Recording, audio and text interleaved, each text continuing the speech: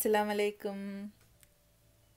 ഇന്നത്തെ നമ്മുടെ video Kerala chicken dum ബിരിയാണിയുടെ പെർഫെക്റ്റ് ആയിട്ടുള്ള ഒരു റെസിപ്പിയും അതിന്റെ കുറച്ച് ടിപ്സുകളുമാണ് രണ്ട് പാർട്ടായിട്ടാണ് ഞാൻ ഈ വീഡിയോ അപ്ലോഡ് ചെയ്യുന്നത്. പാർട്ട് വണ്ണിൽ ടിപ്സും ബിരിയാണിയുടെ കറക്റ്റ് ആയിട്ടുള്ളൊരു റേഷ്യോയും ഞാൻ അപ്ലോഡ് ചെയ്യും.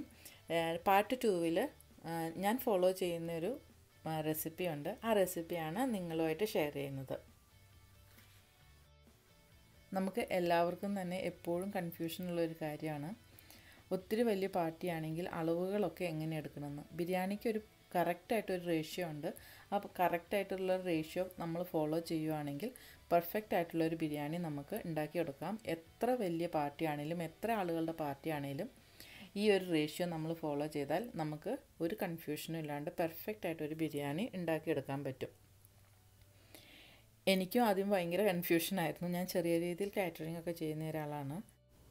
എനിക്കിതിന്റെ കറക്റ്റ് റേഷ്യോ കിട്ടിയത് പ്രദീൻ കുമാരേട്ടന്റെ കയ്യിൽ നിന്നാണ്. അദ്ദേഹത്തിന് വളരെ നാളുകളുടെ എക്സ്പീരിയൻസ് ഉണ്ട് ഹോട്ടൽ ഫീൽഡിൽ അദ്ദേഹം വളരെ നല്ലൊരു കുക്കാണ് ഏട്ടാ ഒത്തിരി നന്ദിയുണ്ട്. എനിക്കിതിൽ എപ്പോഴും കൺഫ്യൂഷനുള്ളൊരു കാര്യമായിരുന്നു.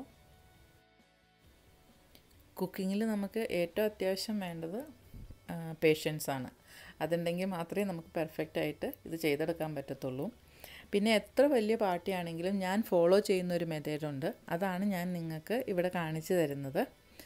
നിങ്ങൾക്കത് അക്സെപ്റ്റ് ചെയ്യാൻ പറ്റുന്നത് അക്സെപ്റ്റ് ചെയ്യുക പിന്നെ നിങ്ങളുടെ രീതിയിലങ്ങ് ഫോളോ ചെയ്യുക. ആദ്യം തന്നെ നമുക്ക് ചെയ്യാം നമ്മുടെ വർക്ക് നമുക്കൊന്ന് ഡിവൈഡ് ചെയ്ത് വെക്കാം. ആദ്യത്തെ സ്റ്റെപ്പ് എന്ന് പറഞ്ഞാൽ പ്രിപ്പറേഷൻ പിന്നെ ഫ്രൈയിങ് ചിക്കൻ ഗ്രേവി പ്രിപ്പയർ ചെയ്ത് വെക്കണം. പിന്നെ നാലാമത്തെ സ്റ്റെപ്പ് കുക്കിംഗ് റൈസ് പിന്നെ ലെയറിങ് ഏറ്റവും അവസാനം നമുക്ക് ദം ചെയ്തെടുക്കാം. അപ്പം പ്രിപ്പറേഷനിൽ വരുന്ന കാര്യങ്ങളാണ്. ഫസ്റ്റ് തന്നെ ചിക്കൻ നമുക്ക് മാരിനേറ്റ് ചെയ്ത് വെക്കണം. അത് എപ്പോഴും ഓവർനൈറ്റ് വെക്കുകയാണെങ്കിൽ അത്രയും നല്ലത്. മിനിമം ഒരു രണ്ട് മണിക്കൂറെങ്കിലും ചിക്കൻ മാരിനേറ്റ് ചെയ്ത് വെക്കണം. ഫ്രൈ ചെയ്യുന്നതിന് ഒരു മണിക്കൂറെങ്കിലും മുമ്പ് മാരിനേറ്റ് ചെയ്ത് വെച്ച ചിക്കൻ നമുക്ക് ഫ്രിഡ്ജിൽ നിന്ന് പുറത്തെടുത്ത് വെക്കണം. പിന്നെ അടുത്തത് അരിയാനൊക്കെ തുടങ്ങുന്നതിന് മുമ്പ് തന്നെ നമ്മുടെ അരി നന്നായി കഴുകി വാരി സോക്ക് ചെയ്ത് വെക്കണം. ഇരുപത് മിനിറ്റെങ്കിലും നമുക്ക് സോക്ക് ചെയ്യണം. ബിരിയാണിക്കുള്ള അരി വാങ്ങുമ്പോഴും ശ്രദ്ധിക്കണം. ക്വാളിറ്റി ഉള്ള അരി തന്നെ നോക്കി വാങ്ങണം. ഇനി നമുക്ക് അരിയാനുള്ളതെല്ലാം അരിഞ്ഞെടുക്കാം. സവോളയെല്ലാം നൈസായിട്ട് തന്നെ അരിഞ്ഞെടുക്കണം. ചെറിയ ഉള്ളി ഒരു കുറച്ച് ഉപയോഗിച്ച് കഴിഞ്ഞാൽ നല്ല ടേസ്റ്റി ആയിട്ട് കിട്ടും. അല്ലെങ്കിൽ സവോള തന്നെ ഉപയോഗിച്ചാലും മതി.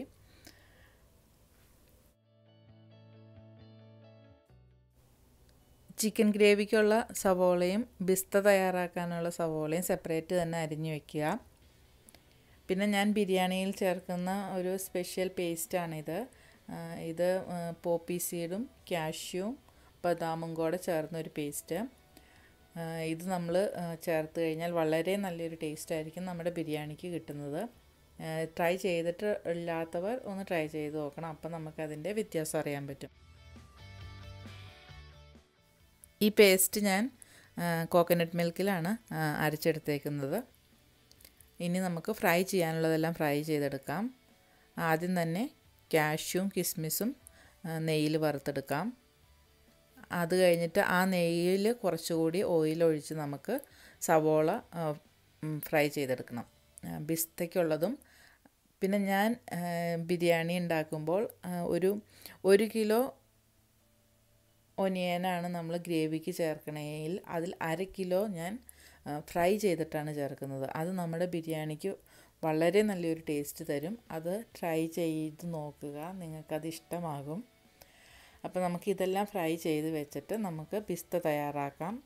അപ്പോൾ അങ്ങനെ ഇങ്ങനെ നമ്മൾ ചെയ്യുമ്പം നമ്മൾ ഒത്തിരി എണ്ണ ഉപയോഗിക്കേണ്ടി വരില്ല. ഈ നെയ്യിൽ തന്നെ ഒരു കുറച്ച് കൂടി ഒഴിച്ചിട്ട് അതിനകത്തേക്ക് ബിസ്ത തയ്യാറാക്കി. ആ ബിസ്ത തയ്യാറാക്കിയ എണ്ണയിൽ തന്നെയാണ് ഞാൻ ചിക്കൻ ഒന്ന് ഷാലോ ഫ്രൈ ചെയ്തെടുക്കുന്നത്.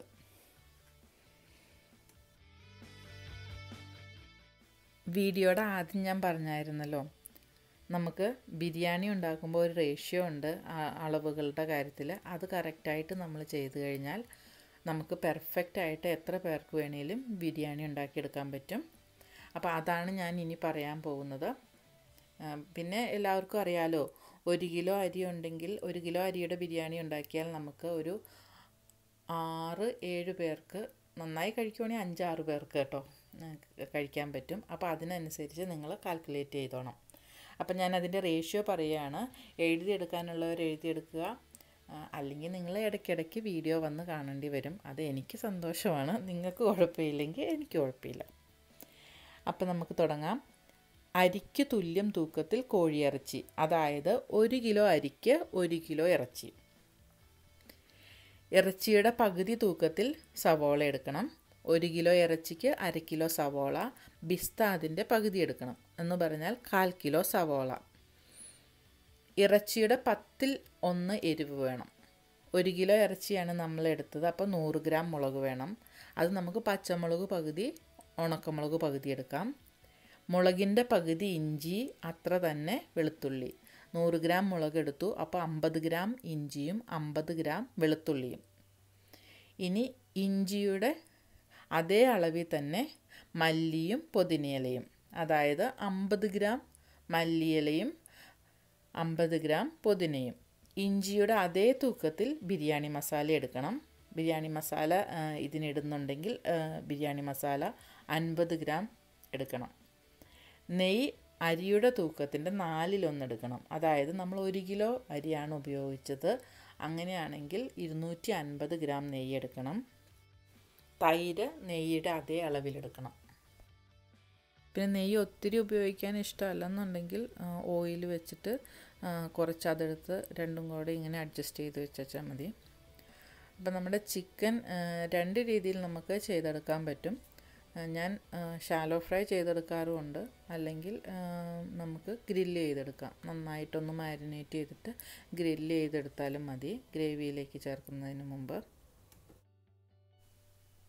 അപ്പോൾ നമ്മുടെ അടുത്ത സ്റ്റെപ്പ് എന്ന് പറഞ്ഞാൽ ചിക്കൻ ഗ്രേവി പ്രിപ്പറേഷനാണ്. അതിൽ ഏറ്റവും പ്രധാനപ്പെട്ട കാര്യം ഒട്ടും വെള്ളം ചേർക്കാതെ വേണം നമ്മുടെ ചിക്കൻ ഗ്രേവി നമുക്ക് തയ്യാറാക്കാൻ. ആ കാഷ്യൂ ബദാം പേസ്റ്റ് ലൂസാക്കാൻ വേണ്ടി മാത്രം ഒരു അരക്കപ്പ് ചൂടുവെള്ളം ചേർത്ത് കൊടുക്കുക. പിന്നെ ഞാൻ ചിക്കൻ ഫ്രൈ ചെയ്ത എണ്ണ തന്നെയാണ് ഗ്രേവി തയ്യാറാക്കാനായിട്ട് എടുത്തത്. കുറച്ച് എണ്ണ അതിനകത്ത് എടുത്തു. ബാക്കി നെയ്യ് കൂടെ ഒഴിച്ച് നെയ്യിൽ തന്നെയാണ് ഞാൻ ഫുള്ള് പ്രിപ്പയർ ചെയ്തിരിക്കുന്നത്. ഒരു കുറച്ച് ഓയിൽ മാത്രം സവോള ഫ്രൈ ചെയ്യാൻ നേരത്ത് ചേർത്തു. ആ ഓയിൽ തന്നെയാണ് ഇതിലും ഉപയോഗിച്ചേക്കുന്നത്. നമ്മുടെ നാലാമത്തെ സ്റ്റെപ്പ് എന്ന് പറഞ്ഞു കഴിഞ്ഞാൽ അരി വേവിച്ചെടുക്കുന്നതാണ്. അരി വേവിക്കുമ്പോൾ ശ്രദ്ധിക്കേണ്ട പ്രധാന കാര്യം ഒരു എഴുപത്തഞ്ച് ശതമാനം മാത്രമേ അരി വേവിക്കാവുള്ളൂ. ബാക്കി നമ്മൾ ബിരിയാണി ദമ്മിടുമ്പോൾ ആ ദം അതിനകത്തിരുന്നാണ് വേവേണ്ടത്. അപ്പോൾ അതെപ്പോഴും ശ്രദ്ധിക്കണം.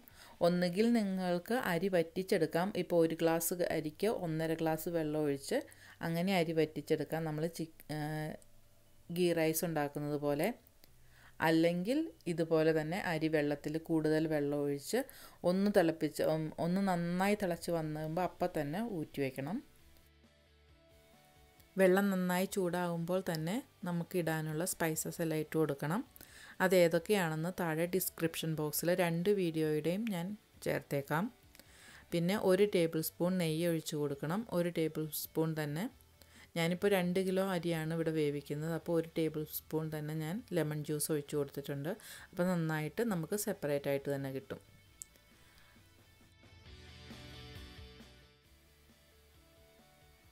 നമ്മുടെ അഞ്ചാമത്തെ സ്റ്റെപ്പ് ലെയർ ചെയ്തെടുക്കലാണ് ബേക്കിങ്ങിന് വേണ്ടി. അപ്പോൾ നമ്മൾ ഫ്രൈ ചെയ്തതെല്ലാം അടുപ്പിച്ച് വയ്ക്കുക ലെയർ ഇടുമ്പം ഫ്രഷ് പൈനാപ്പിൾ തന്നെ ഉപയോഗിക്കാൻ ശ്രദ്ധിക്കണം. എസൻസ് ചേർക്കാതെ.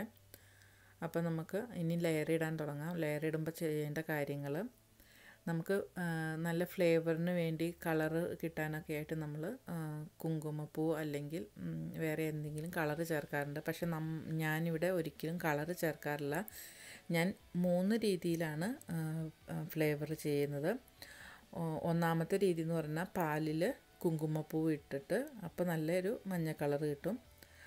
അല്ലെങ്കിൽ രണ്ടാമത്തെ രീതി ഞാൻ ചെയ്യുന്നത് പാലിൽ മഞ്ഞൾപ്പൊടി ഇട്ടിട്ട് അതിനകത്ത് റോസ് വാട്ടറും കൂടെ ചേർത്ത് കൊടുക്കും. അപ്പോൾ നല്ലൊരു സ്മെല്ലായിരിക്കും. നല്ല ഫ്ലേവർ വരും നമ്മുടെ ബിരിയാണിക്ക്. മൂന്നാമത്തെ രീതി ഞാൻ ചെയ്യാറുള്ളത് പാലിൽ മഞ്ഞൾപ്പൊടി ചേർത്തിട്ട് വാനില എസൻസ് ചേർത്ത് കൊടുക്കും. ഇത് മൂന്ന് രീതിയിൽ ഞാൻ ചെയ്യാറുണ്ട്. മൂന്നിനും നല്ല ഒരു ഫ്ലേവർ തന്നെയാണ് കിട്ടുന്നത്. ട്രഡീഷണൽ രീതിയിൽ നമ്മൾ ചിക്കൻ ദം ബിരിയാണി ദം ചെയ്യുന്നത്.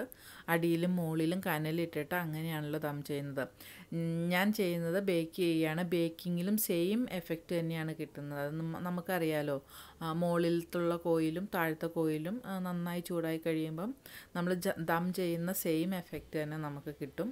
അപ്പം ഞാൻ ഇതുപോലെ ഒരു ബേക്ക് ട്രേയിലാണ് ഇത് ബേക്ക് ചെയ്തെടുക്കുന്നത്. അതിൽ നന്നായിട്ട് തന്നെ ഞാൻ നെയ്യ് പരട്ടി കൊടുക്കും. എന്നിട്ട് നമുക്ക് ഞാൻ ഫസ്റ്റ് ലെയർ റൈസാണ് ഇടാറ്. അത് നമുക്ക് നമ്മുടെ ഒരു ഇഷ്ടം പോലെ ചെയ്യാം. ചിലർ ചിക്കൻ ഫസ്റ്റ് ലെയർ കൊടുക്കും. ചിലർ റൈസ് കൊടുക്കും. അപ്പം നിങ്ങൾക്കത് ഏതാണോ കംഫർട്ടബിൾ അതുപോലെ ചെയ്യുക. അപ്പോൾ ആദ്യം തന്നെ നമുക്ക് നമുക്ക് നമ്മുടെ റൈസ് നിരത്തിയിട്ട് കൊടുക്കാം. അതിന് മുകളിലേക്ക് ഫ്രൈ ചെയ്ത് വെച്ചിരിക്കുന്ന ഒനിയൻ ഇട്ട് കൊടുക്കുക. അത് നന്നായി സ്പ്രെഡ് ചെയ്ത് കൊടുക്കണം. അതിന് മുകളിൽ നമുക്ക് കുങ്കുമപ്പൂ കലക്കി വെച്ചിരിക്കുന്ന പാൽ ഒഴിച്ച് കൊടുക്കാം. ഞാൻ കുറച്ച് റോസ് വാട്ടറും കൂടി കുങ്കുമ പാലിൽ കലക്കിയിട്ടുണ്ട്. നമുക്ക് ഇഷ്ടമുള്ള രീതിയിൽ ഇതിപ്പോൾ ഞാൻ പറയുന്ന പോലെ തന്നെ നിങ്ങൾ ചെയ്യണമെന്നില്ല നിങ്ങളുടെ ഒരു ഇതിലനുസരിച്ച് ഇതനുസരിച്ച് ഒരു അതുപോലെ ചെയ്തെടുക്കുക. ഇനി അതിന്റെ മുകളിലേക്ക് പൈനാപ്പിൾ ഇട്ട് കൊടുത്തു. പിന്നെ കിസ്മിസ് ഇടുക അങ്ങനെ കാഷ്യൂ ഇട്ട് കൊടുത്ത് നന്നായി എല്ലായിടത്തും ഒന്ന് സ്പ്രെഡാക്കി കൊടുക്കുക. കുറച്ച് പുതിനയിലയും മല്ലിയിലയും മുകളിൽ വിതറി കൊടുക്കുക. ഇനി നമുക്ക് ചിക്കൻ നിരത്തി വയ്ക്കാം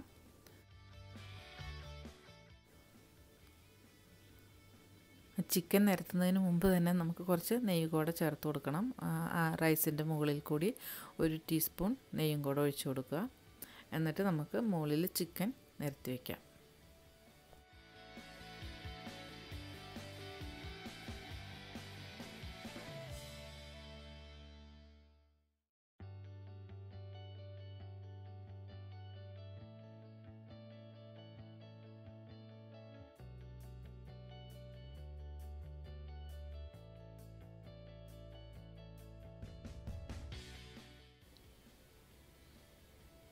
ചിക്കൻ നന്നായി നിരത്തി വെച്ചിട്ട് ഇനി അതിന്റെ മുകളിലേക്ക് നമുക്ക് അടുത്ത ലെയറായിട്ട് ചോറിട്ട് കൊടുക്കാം.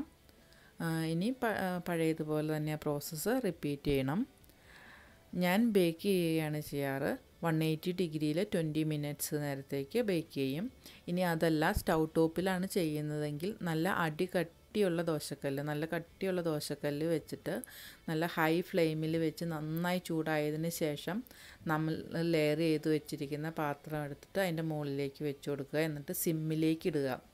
സിമ്മിലേക്ക് ഇട്ടിട്ട് ഒരു ഫിഫ്റ്റീൻ ടു ട്വന്റി മിനിറ്റ്സ് നമുക്ക് ദം ചെയ്തെടുക്കാം. അത് നല്ല കവർ ചെയ്യുമ്പോൾ നന്നായിട്ട് കവർ ചെയ്യണം. അല്ലെങ്കിൽ നമ്മൾ മൈദമാവ് കൊണ്ട് അരി കൊട്ടിച്ച് കൊടുക്കണം.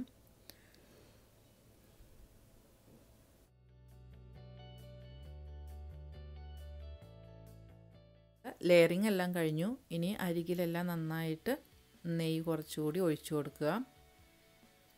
നമ്മുടെ അടുത്ത സ്റ്റെപ്പ് എന്ന് പറഞ്ഞു കഴിഞ്ഞാൽ ദം ദം ചെയ്തെടുക്കുകയാണ്. അപ്പോൾ ഞാനിവിടെ പറഞ്ഞല്ലോ ഞാൻ ബേക്ക് ചെയ്യുകയാണ് ചെയ്യാറ്. അപ്പോൾ ഞാൻ ഇതിന്റെ മുകളിൽ